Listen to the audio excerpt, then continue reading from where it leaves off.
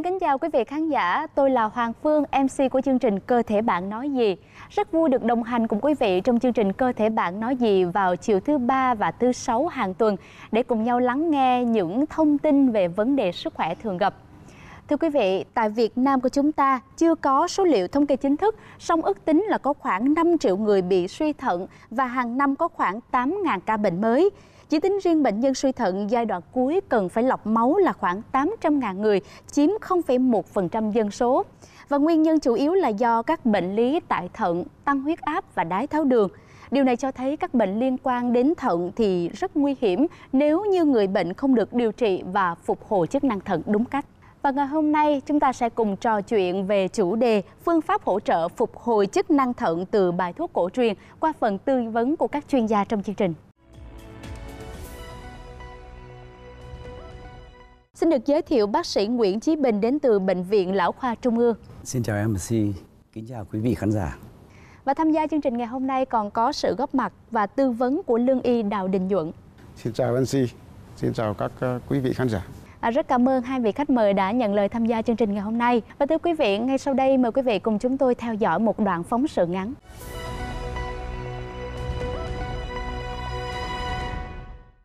Là một người đàn ông trụ cột trong gia đình, từ nhiều năm nay, anh Hà luôn phải buông ba ngoài cuộc sống. Gia đình anh không mấy khá giả. Vì vậy, dù ở tuổi hơn 50, nhưng anh vẫn hàng ngày cặm cụi, chăm chỉ làm việc từ nhỏ đến việc lớn để mong kiếm những đồng tiền trang trải cuộc sống cho gia đình.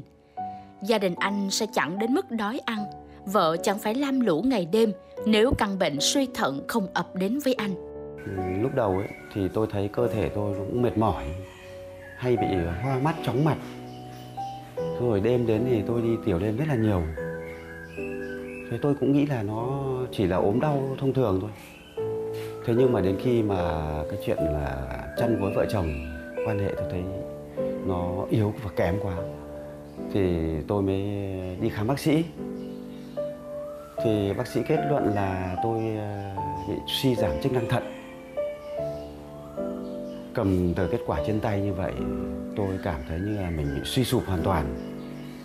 Tôi rất là lo lắng, rồi không biết chạy chữa thuốc thang như thế nào.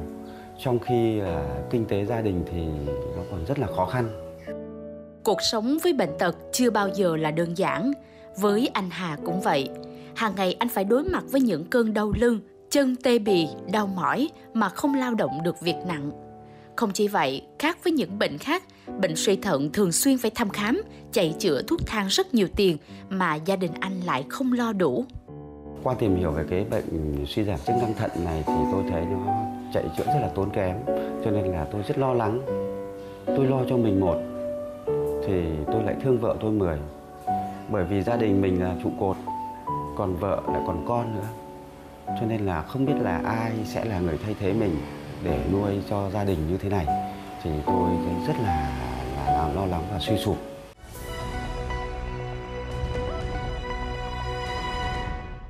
Chúng ta vừa được xem qua một đoạn phóng sự ngắn về những cái người mà mắc bệnh suy thận ở giai đoạn đầu tiên. Bản thân chúng ta cũng đã cảm nhận được những nỗi khổ của những người mắc phải suy thận và không chỉ nhân vật trong phóng sự đâu mà rất nhiều người, đặc biệt là nam giới mà mắc phải căn bệnh suy thận này thì nhiều người còn nghĩ đến cái chết để giải phóng khỏi căn bệnh này.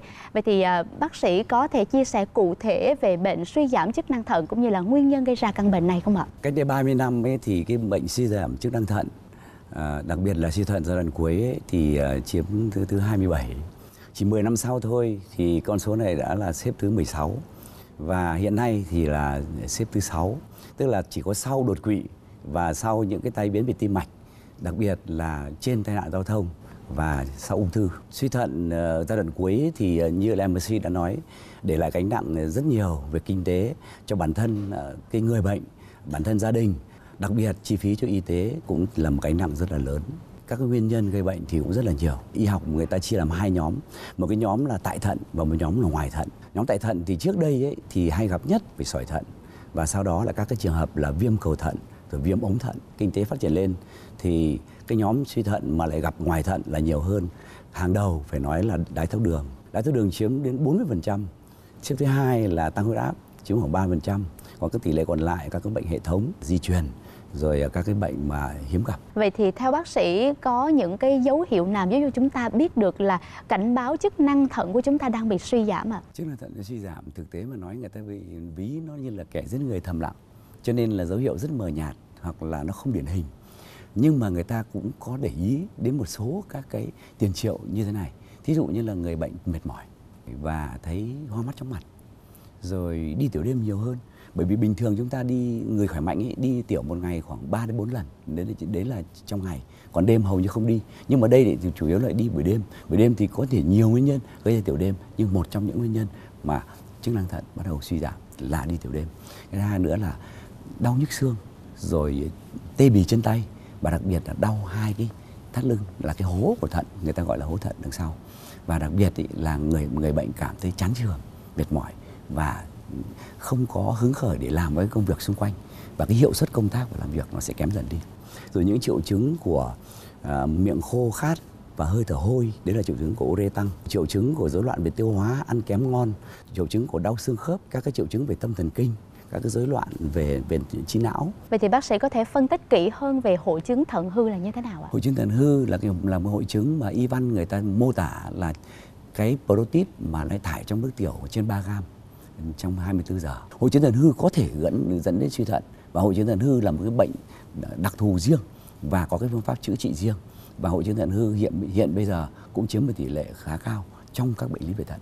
Và liên quan đến cái chủ đề ngày hôm nay thì cũng có rất nhiều quý vị khán giả gửi thư về cho chương trình và trong đó có một vị khán giả đã gửi đến chương trình với nội dung như sau. Thưa bác sĩ, thời gian vừa qua tôi thường xuyên gặp tình trạng là đi tiểu đêm nhiều hay bị mệt mỏi và chóng mặt. Khi đi khám thì bác sĩ có nói là chức năng thận bị yếu. Mặc dù tôi đang điều trị theo y lệnh nhưng tôi có một băn khoăn đó là việc điều trị suy giảm chức năng thận có thực hiện triệt để được hay không? Mong bác sĩ giải đáp ạ. Tiến trình của suy thận thì ờ, thế giới họ phân làm 5 cấp độ. Cấp độ 1, cấp độ 2 thì quá mờ nhạt không có triệu chứng. Đến cấp độ 3 bắt đầu có triệu chứng thì tiến triển rất nhanh và tăng nặng cho nên điều trị triệt để bây giờ là một sự khó khăn của y học hiện đại cũng như cổ truyền và sự phối hợp này sẽ sẽ làm cho quá trình này tiến triển chậm hơn và cố gắng dừng lại và đừng tiến triển các cái độ nó cao hơn nặng hơn. À, bên cạnh các phương pháp điều trị bằng Tây y thì hiện nay những cái bài thuốc về y học cổ truyền cũng có những tác dụng rất là hiệu quả và an toàn lành tính cho những người đang mắc phải căn bệnh là suy giảm chức năng thận. Vậy thì à, theo bác sĩ, bác sĩ đánh giá như thế nào về cái phương pháp y học cổ truyền này ạ? Cái nền y học cổ truyền nó có từ nhiều ngàn năm nay, y học Tây phương và Đông y đã gặp nhau trong một cái chiến lược chăm sóc mà người bệnh của những cái bệnh hiện đại mà không lây nhiễm, trong đó có có suy thận và suy giảm chức năng thận đặc biệt giai đoạn cuối của những vị thuốc ờ, đặc biệt và đã đã làm cho cái tiến trình ờ, bệnh không tiến triển tiếp sang giai đoạn sau và dừng lại. Và thậm chí có những người mà cái chức năng thận đánh giá bằng creatinine đã được giảm hẳn và dừng lại ở mức độ độ 2 hoặc độ 3 sẽ giảm thiểu cho bệnh nhân không phải ờ, chạy thận và và cũng không phải ghép thận về về sau và để lại những hệ lụy nặng. À, rất cảm ơn những chia sẻ của bác sĩ và trong chương trình ngày hôm nay còn có sự có mặt của lương y Đào Đình Nhuận là một người đã có nhiều năm nghiên cứu về các bài thuốc y học cổ truyền. Vậy thì lương y có thể cho quý vị khán giả được biết những thảo dược hay là những vị thuốc mà có chức năng là hỗ trợ cái việc suy giảm chức năng thận hay không ạ? Đối với những vị thuốc mà để mà bồi dưỡng thận và điều trị thận thì nó gồm có như là thuộc địa này, hoài sơn, bạch linh, đan bì, trạch thả, sơn thù và một số những vị đông dược khác nữa có tác dụng tức là bổ thận, điều hòa âm dương và lân chức năng thận lên cùng với một số một bài thuốc khác và điều trị các bệnh lý về thận đưa các vị thuốc vào điều hòa khí huyết âm dương âm và dương phải cân bằng Cảm ơn những phân tích và chia sẻ của hai vị chuyên gia. Và thưa quý vị, tiếp theo chương trình mời quý vị cùng chúng tôi theo dõi một tiểu phẩm ngắn ngay sau đây.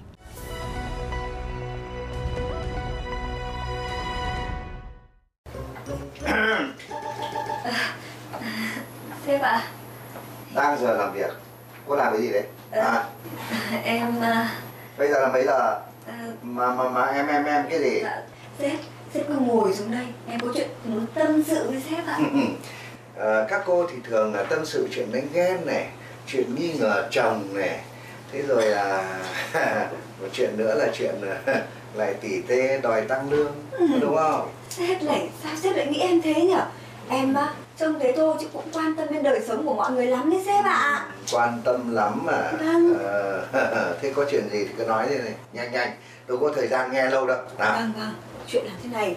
Sáng nay ấy anh thận anh đi xin nghỉ để đi khám đấy sếp ạ. Ừ, lại thận hả? Sao sếp biết là anh thận bị thận thế ạ? À anh thận bị thận. Vâng. Tôi đã có biết. Thế làm sao? À anh ấy bảo là dạo này không hiểu vì sao cứ đau lưng rồi đi tiểu đêm suốt. Khả năng cao là bị thận nên phải đi khám đấy ạ. Bây giờ ai bảo nó tên là thận cho nên nó ám vào người nó bị cái bệnh thận. Được rồi cứ bảo nó đến gặp tôi nhé. Tôi sẽ có một phương ờ, thuốc ờ, một cái cách chữa rất là chuẩn nhé. Tôi sẽ mách bảo cho một bí kíp một bí truyền luôn. Thế À, ơi chồng của em cũng có hiện tượng hình như là thận cũng có vấn đề hay là sếp mách cho cái bí kíp đấy đi ạ? Ừ, bây giờ ấy xinh đẹp thế này mà chồng mà bị thận thì thôi rồi. Sếp cho em xin bí kíp đi. Yên tâm là em chỉ nói trong phòng của mình thôi không lộ ra ngoài đâu ạ. Ừ, thôi được rồi. Cái này nhá. Tôi nói bí quyết cho nó hoành tráng nhé sếp nói đi ạ. Tôi đang sử dụng ấy cái bài thuốc đông y ờ, bổ trung ích thận tán gồm có hai loại là ờ, ích thận tán này rồi là thận khí tán được rất nhiều người tin dùng. Cái này ấy, nó có chức năng là tỳ phế thận bổ trợ cho cái việc là điều trị cái bệnh thận mãn tính. Rất là hiệu quả chiết xuất từ thiên nhiên rất tốt cho người bị bệnh thận đấy. Mà như thế thì phải sắc lên để uống Ôi trời ơi. Thời buổi này ai người ta sắc thuốc. Ông ấy đã bào chế ra thành viên nang rồi chỉ việc mang theo người nhá khi nào dùng có lấy ra mấy viên uống thế là xong. Ừ. bài tôi sẽ mang mẫu cho hiểu chưa? Đi mua ngay cho chồng uống hiểu chưa? Thế bây giờ em xin phép sếp em về thông báo với chồng em. Nha sếp nhá đi không? Đang giờ làm việc đi trừ lương đi nhá. Ờ, rồi ngồi đây đây mai ăn hay nhá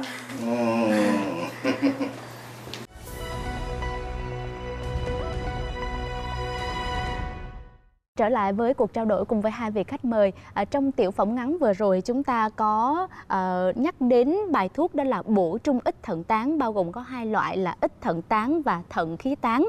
Vậy à, là người nghiên cứu ra bài thuốc này, Lương Y có thể chia sẻ thêm với khán giả về công dụng và mục đích của bài thuốc này được hay không ạ? Bài thuốc mà sau khi tôi đã thành công nghiên cứu ra, bài thuốc thứ nhất là bài thuốc thận khí tán, là bài thuốc trực tiếp để đưa thuốc vào điều trị suy thận. Bài thuốc thứ hai là bài thuốc dưỡng thận, là bài ích thận tán, cũng là đưa thuốc vào để hỗ trợ chức năng thận và thải các độc tố như ure, rồi là kali, một số cái vị độc khác ở trong cơ thể con người ra. Nó gồm có thuộc địa, hoài sơn, bạch linh, trạch tả, sơn thù, bông mã đề, quả mực và một số vị thuốc khác nữa để điều trị suy thận, phục hồi thận và nâng chức năng thận lên kết hợp để điều trị cho thận tốt hơn. Rất cảm ơn những chia sẻ của Lương Y. Như Hoàng Phương đã chia sẻ từ đầu của chương trình Cơ thể bạn nói gì, đây là một chương trình mang đến những thông tin và những kiến thức rất là thực tế về vấn đề chăm sóc sức khỏe cho mọi nhà. Và ngày hôm nay xuất hiện trong trường quay đó là một vị khách mời, người đã và đang điều trị căn bệnh suy giảm chức năng thận và xin được giới thiệu nhân vật Nguyễn Minh Hà là nhân vật đã xuất hiện đầu tiên trong phóng sự của chúng tôi. Xin mời anh ạ. Xin chào MC, xin chào bác sĩ, xin chào khán giả đang xem truyền hình.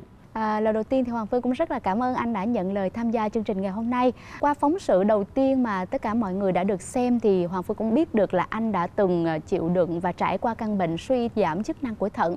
Vậy thì ờ, đến nay thì sức khỏe và tình trạng căn bệnh thận của mình đã như thế nào rồi ạ? À, như MC và khán giả truyền hình đã biết đấy, thì bây giờ tình trạng sức khỏe của tôi là tương đối tốt rồi. Cái hiện tượng mà tê bì tay chân và đau lưng của tôi đã giảm rất là nhiều. Tôi có thể đi lại được gần như người bình thường. Chức năng thận của tôi cũng dần được cải thiện. À, ngày hôm nay anh xuất hiện với một cái thần sắc rất là rạng rỡ và Hoàng Phương xin chúc mừng anh là đã tìm được cái liệu pháp cũng như là cái ờ, phương pháp hiệu quả giúp cho mình cải thiện được chức năng thận của mình. Vậy thì qua chương trình ngày hôm nay anh có thể bật mí với quý vị khán giả phương pháp mà anh sử dụng là gì ạ? Khi mà đến bác sĩ cầm tờ kết quả xét nghiệm ở trên tay ấy, bác sĩ kết luận là tôi bị ờ, suy giảm chức năng thận, tinh thần tôi bị suy sụp hoàn toàn. Tôi chán nản lắm. Thế về nhà thì ai mách cái gì, thuốc loại hay gì hay là tôi cũng mua tôi sử dụng. Có bệnh thì vài tư phương. Thế nhưng mà sử dụng rất nhiều loại thuốc mà kết quả không đem được như mình mong muốn. Thế cũng rất là may mắn là có một lần tôi xem trên truyền hình nói về phóng sự và về à, cái bài thuốc gia truyền đã cứu và chữa được khỏi bệnh cho rất nhiều người mà mắc bệnh như tôi. Thế chính vì vậy và tôi tìm đến thầy, thế được thầy thăm khám và cho sử dụng. Thế thì cũng thật là may mắn được gặp thầy gặp thuốc. Thì sau một liệu trình kết quả là tôi đã uh, đi lại được gần như bình thường. Thế và cái ờ, chức năng thận của tôi cải thiện rất là tốt. Cái hiện tượng tê bì tay chân và đi tiểu đêm của tôi cũng giảm rõ rệt. Thế cho đến nay ấy, thì như các bạn thấy đấy, tôi đã khỏe ra rất là nhiều. Tôi đi luyện tập thể thao được rồi. Các cái triệu chứng mà tê bị tay chân và đau lưng của tôi và nhất là hiện tượng đi tiểu đêm là không còn nữa tôi rất là phấn khởi. Như vậy là với những chia sẻ của anh thì Hoàng Phương biết được là anh cũng đã tìm được một phương pháp rất là hiệu quả cho mình. Và thưa lương y Đào Đình Nhuận, anh uh, Nguyễn Minh Hà cũng có chia sẻ là anh đã sử dụng phương pháp rất là hiệu quả cho mình. Vậy thì lương y có thể nói cho quý vị khán giả cụ thể hơn về phương pháp như thế nào ạ? Bài thuốc này thì nó gồm có cỏ mực và sơn thù là những vị thuốc là dưỡng thận, bổ thận. Còn các vị khác nữa, ví dụ như bông mã đề, rồi uh, dâu ngô, và một số vị thuốc nữa là có tác dụng là lợi tiểu, tiêu viêm. Vậy thì uh, ngày hôm nay uh, tại trường quay này được gặp gỡ lương y đã và đang chữa trị căn bệnh cho mình thì không biết anh Nguyễn Minh Hà có muốn nhắn nhủ điều gì, muốn gửi điều gì đến lương y Đào Đình Nhuận không ạ? Qua đây thì tôi cũng xin được gửi lời cảm ơn tới thầy Đào Đình Nhuận đã giúp cho tôi khỏi bệnh cũng như là bị cứu tinh lần thứ hai của tôi và tôi cũng mong thầy được khỏe mạnh để có được nhiều bài thuốc hay chữa được cho nhiều người mà không may vác vào bệnh như tôi được lấy được ờ, lại được sức khỏe và cuộc sống bình thường. Vâng ạ, à, rất cảm ơn những chia sẻ của anh Nguyễn Minh Hà. Qua chương trình ngày hôm nay chúng ta biết được những cái phương pháp, những cái cách để chúng ta có thể phòng ngừa được cái vấn đề suy giảm chức năng năng thận này. À, rất mong bác sĩ có thể chia sẻ cho quý vị khán giả những cái cách mà chúng ta có thể phòng ngừa được căn bệnh này không ạ? Chức năng thận nó sẽ suy giảm dần theo tuổi. À, người ta nói là 70 tuổi thì chức năng phổi chỉ còn ờ, 50% và chức năng thận cũng gần như thế. Nhưng mà nếu mà chúng ta lại thêm các cái yếu tố tác động như viêm nhiễm rồi những cái mà sinh hoạt nó không điều độ rồi dùng các cái thuốc rồi ờ, cái thuốc không đúng rồi các chế độ ăn uống cũng không hợp lý và tất cả những quá trình đó sẽ dẫn đến quả thận của chúng ta sẽ không đảm đương được cái chức năng mà vốn là thượng đế đã cho chúng ta. Để mà dự phòng ấy, thì chúng ta có một cái hành vi cái sinh hoạt nó phải lành mạnh giảm thiểu những cái yếu tố có hại khi mà ăn uống dinh dưỡng thì phải chọn lựa các cái thức ăn cho nó chuẩn. Và chứ thức ăn nào không hại, cái thuốc mà không rõ nguồn nguồn gốc thì tất cả các thuốc đều có ờ, chuyển biến qua gan và thận thì đều ảnh hưởng đến thận cả. Nếu như người nào có bệnh nền, đặc biệt là tiểu đường và tăng huyết áp, thì hai cái bệnh đấy phải điều trị bệnh nền thật tốt. Bởi vì chính hai bệnh đấy là nguyên nhân của của suy thận là hàng đầu, chiếm đến hơn 70% của cái số lượng bệnh nhân suy thận bây giờ. Trong gia đình có những người suy thận thì lại càng phải quan tâm hơn đối với bản thân mình có bệnh nền thì càng điều trị bệnh nền cho thật tốt. Ngoài điều trị bệnh nền, chúng ta phải duy trì một cái à, phòng bệnh về cái chế độ tập luyện hợp lý chế độ dinh dưỡng và phải tầm soát bệnh tật thường xuyên. À, chúng ta cần phải lắng nghe cơ thể của mình đúng không ạ? Và khi mà có bất kỳ một cái dấu hiệu bất thường chúng ta cần phải đi khám để có thể phát hiện và điều trị kịp thời. Rất cảm ơn những chia sẻ và những câu chuyện của các vị khách mời và Hoàng Phương cũng hy vọng là quý vị khán giả qua chương trình ngày hôm nay cũng đã thêm vào sổ tay sức khỏe của mình rất là nhiều thông tin bổ ích để có thể chăm sóc sức khỏe cho gia đình. Một lần nữa cảm ơn những vị khách mời đã tham gia chương trình ngày hôm nay. Thưa quý vị và các bạn, chương trình cơ thể bạn nói gì tuần này cũng xin được khép lại tại đây. Cảm ơn quý vị và các bạn đã quan tâm theo dõi chương trình ngày hôm nay. Xin chào và hẹn gặp lại trong các chương trình lần sau.